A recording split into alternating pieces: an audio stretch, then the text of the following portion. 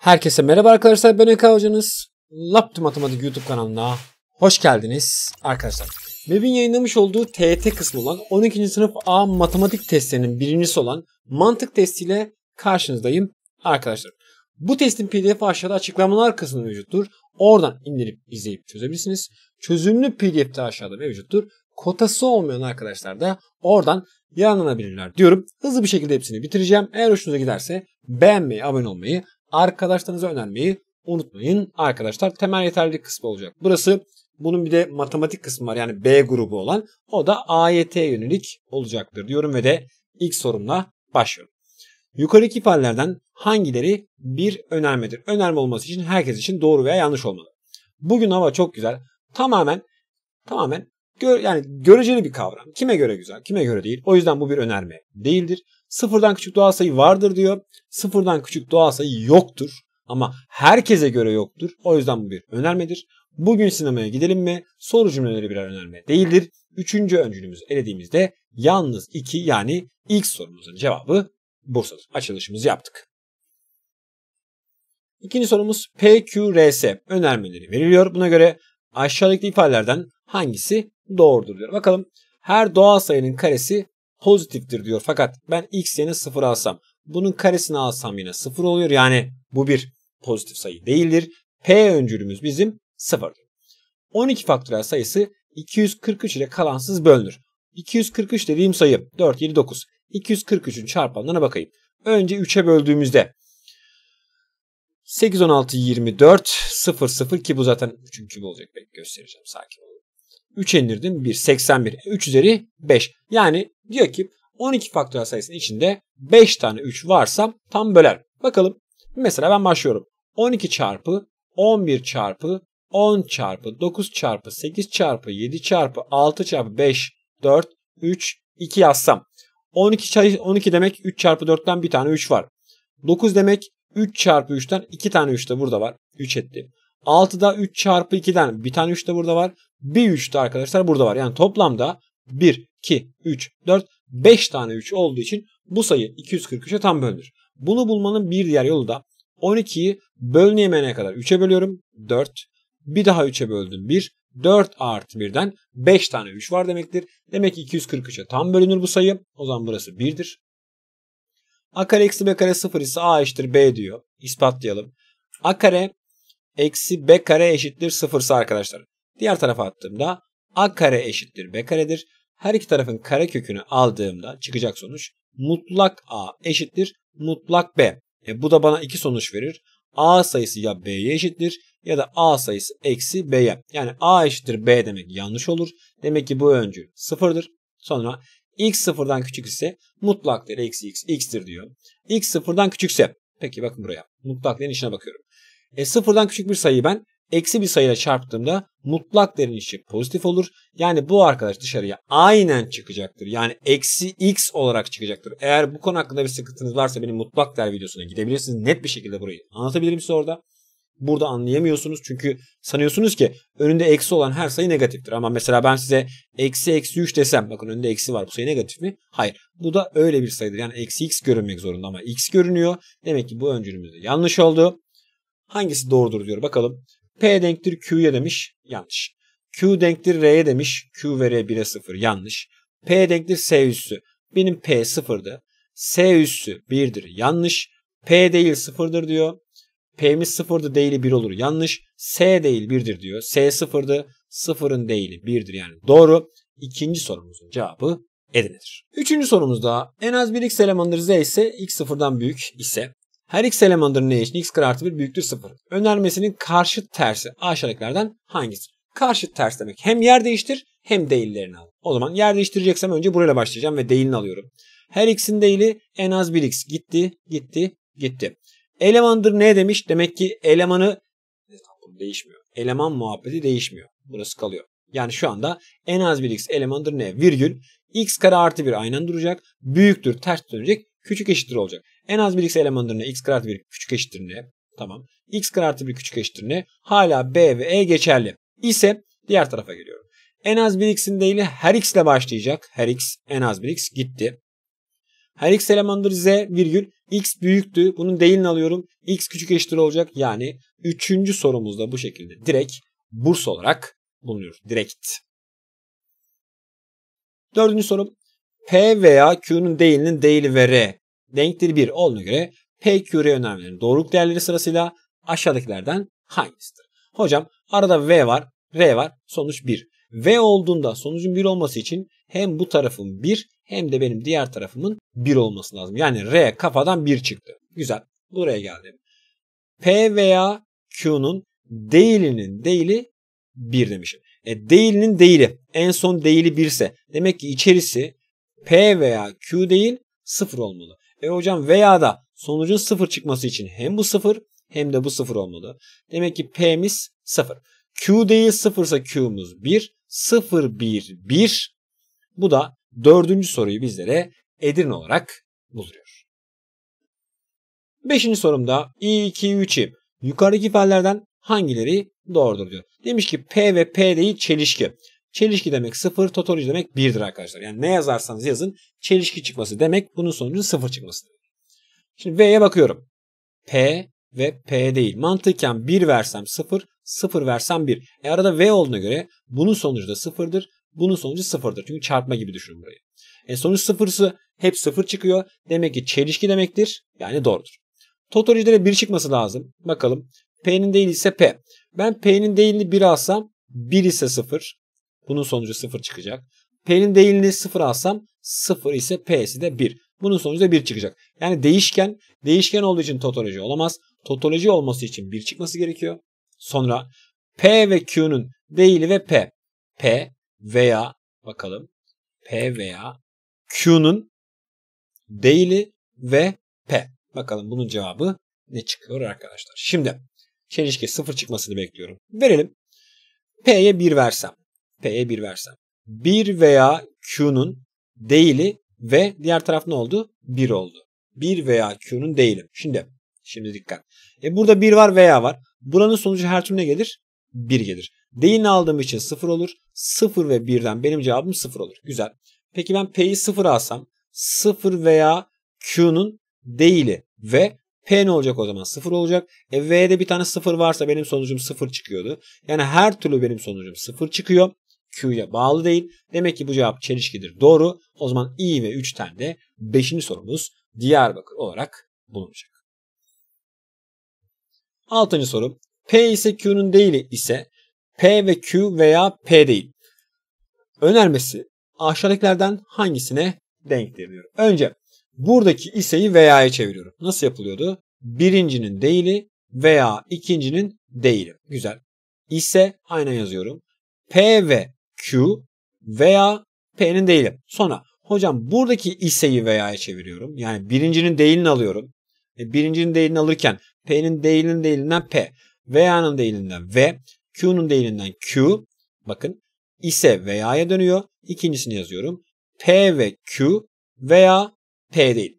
Şimdi P ve Q ve P ve Q aynı veya P ve Q aynı. Yani bu ikisinin sonucu bir tane P ve Q olur. P ve Q yanında veya P değil var.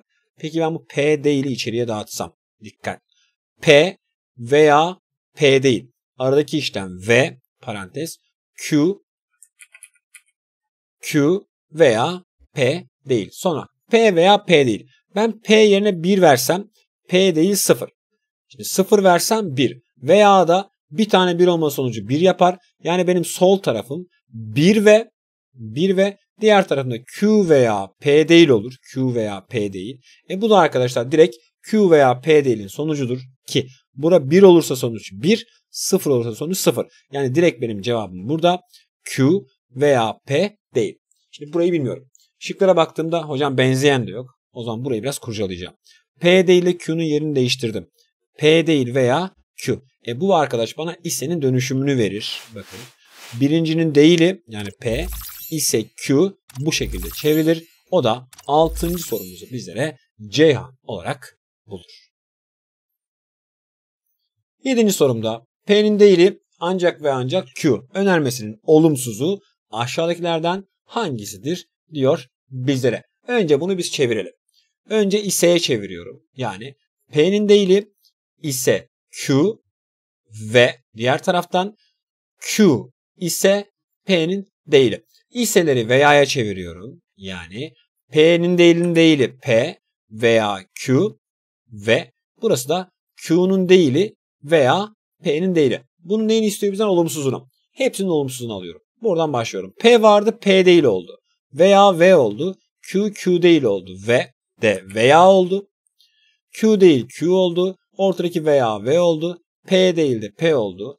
P değil ve P değil ve Q değil veya Q ve P. Hmm, yer değiştirmiş. Sıkıntı yok. Sıkıntı yok. Şimdi arada veya olduğu için bunlar yer değiştirebiliyor. Yer değiştirdiğimizde Q ve P veya bunu diğer tarafa attım. P'nin değili ve Q'nun değili. Bakıyorum P'nin ile Q'nun değili gitti. Bu kaldı. Gitti. Bu kaldı. Diğer taraf Q ve P. Bu arada Q ve P ile yer değiştirir. V'leri değiştiriyordu. Son olarak P ve Q veya P'nin değili ve Q'nun değil olmuş oldu ve sonucu bağladık. Gitti. Gitti. P ve Q, P'nin değili veya Q. Bu, evet doğru. Tamam. Yedinci sorumuzun cevabı Adana'dır diyoruz. Sekizinci sorumuz P ise Q veya Q veya R'nin değili sıfır. Olduğuna göre aşağıdakilerden hangisi yanlıştır diyor. Arada ne var? Veya. Sonuç ne? Sıfır. Bunun olması için hem bu sıfır hem bu sıfır. Sol tarafa geldim. P ise Q'muz eğer bizim sıfırsa tek kural var. 1 ise sıfırın sonucu sıfırdı. Demek ki P'miz kesinlikle 1, Q'muz kesinlikle 0. Diğer tarafa geldim. Q veya Q veya R'nin değili 0 demiş. E bunun olması için de 0 veya 0 lazım. Q zaten 0'dı. R değil 0 ise R'miz de 1 oldu. Hepsini aşağıda yorumluyorum. P ve Q. Yani 1 ve 0'dan çarpma gibi düşün 0'dır. Q ve R 0 ve 1'den yine 0'dır. P'nin değili 0 veya Q 0 0'dır. Yani bu doğru. Bu da doğru. R ise Q. R'miz hocam 1'di. Q'muz 0'dı. R ise Q'nun sonucunun 0 çıkması lazım 100 kuralından. Yani bu değildir. 8. sorumuz da bu şekilde Diyarbakır olarak bulunur.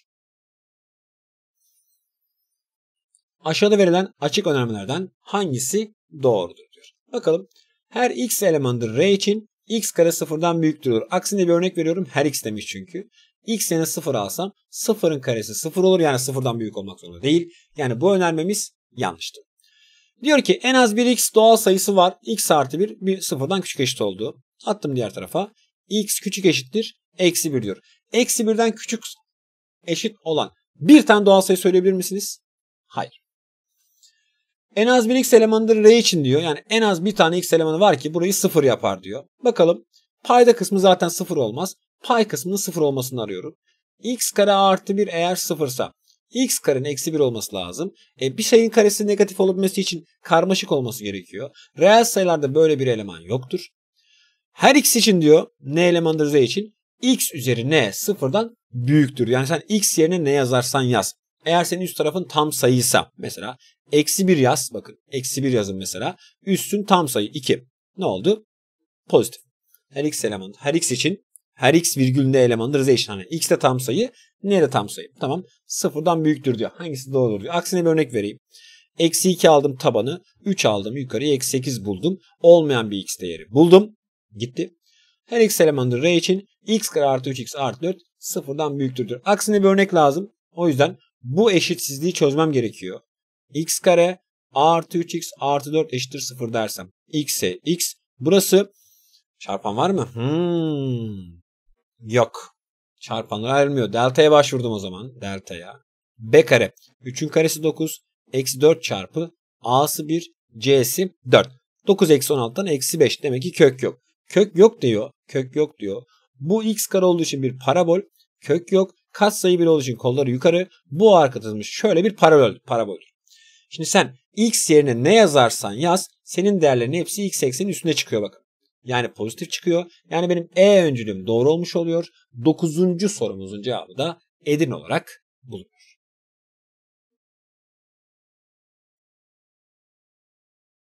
Onuncu sorumuz. Bir öğrenci P veya Q1, Q veya R1 ise P veya R1 olduğunu iddia etmektedir. Yani hep 1 1 ise 1 1 ise 1 1'dir diyor. Öğretmen ise bu önermenin yanlış olduğunu öğrencisine göstermek için bazı durumları denemesini istemiştir. Buna göre öğretmen aşağıdaki durumlardan hangisini göstermelidir? Mantıklı şekilde düşündüğümüzde buradan P'yi buradan Q'yu buradan Q'yu buradan R'yi 1 bulmuşum ve P ve R'yi yani şu ikisini alacağım P ve R'yi sonucu 1 yapmaya çalışacağım. E, gayet basit. Ben şu örneği verirsem bakın P'ye 0. E, 1 olması için Q'ya 1 veririm 1 olur. Q'ya 1 aldım veya R'ye de 0 aldım. Ne oldu burası? 0 veya 0'dan 0 buldum. Yani benim almam gereken örnek P0, Q1, R0. 0, 1, 0 hangi şık? 0, 1, 0. Diyarbakır şıkkı. 10. sorumuzun cevabı bu şekilde Diyarbakır olarak bulunuyor. 11. sorum P ise Q'nun değil veya P veya Q'nun değili. Önermesi aşağıdakilerden hangisine denktir? Önce şu iseyi veya çevireyim. P'nin değili veya Q. Bir de değil var burada. Veya burası da P veya Q'nun değili. Bu değili içeri dağıttım. P ve buradan Q değil geldi. Veya bunu da içeri dağıttım. P değil ve Q değil. Her ikisinde Q değiller ortak. O zaman ben Q değil ortak parantezini alıyorum. Sağdan alayım. Q değil ortak parantezinde. Q değil ortak. Ne dağıtmışım içeriye? Bakın V'yi dağıtmışım. V burada. Sonra Q değili çeksem burada geriye P değil kalıyor. Veya burada geriye P kalmış oluyor. Bakayım. P değil ve Q değil doğrudur. Doğrudur, doğrudur. Şimdi P veya P'nin değilim.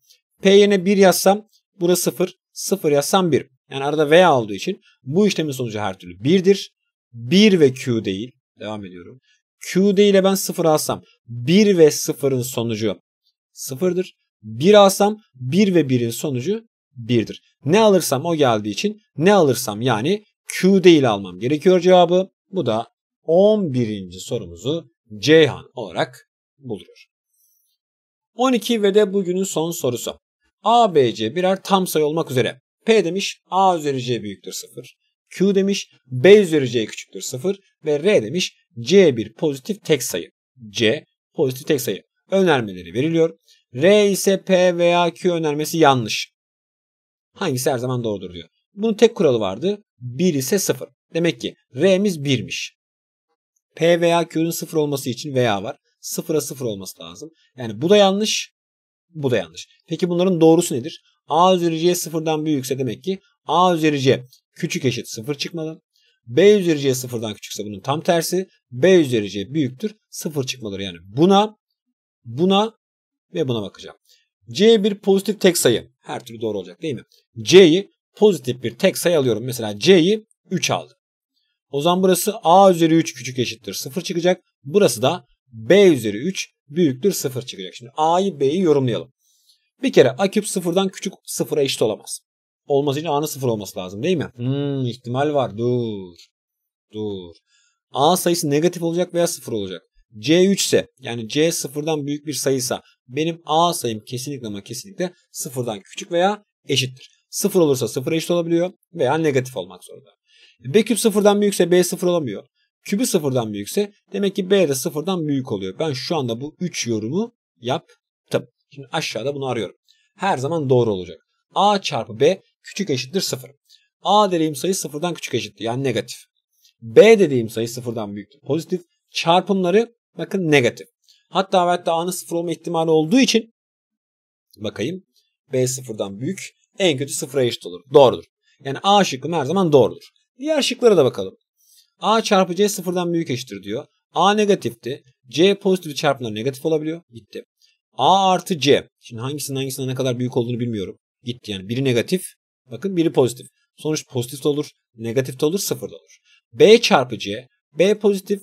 C pozitif çarpımları pozitif olacak. A eksi B yani A B'den büyük demiş. E A negatif B pozitifti. Bu da kesinlikle yanlıştır. Yani doğru şıkkımız bizim 12 adan olarak bulunmuş oluyor arkadaşlar diyelim ve de ilk testimizi bu şekilde bitirelim. Umarım hoşuna gitmiştir. Umarım işinize yaramıştır. Eğer bu dediklerim olduysa beğenmeyi, abone olmayı, arkadaşlarınıza önermeyi unutmayın diyorum. Kendinize çok iyi bakın. Görüşmek üzere. Bay bay.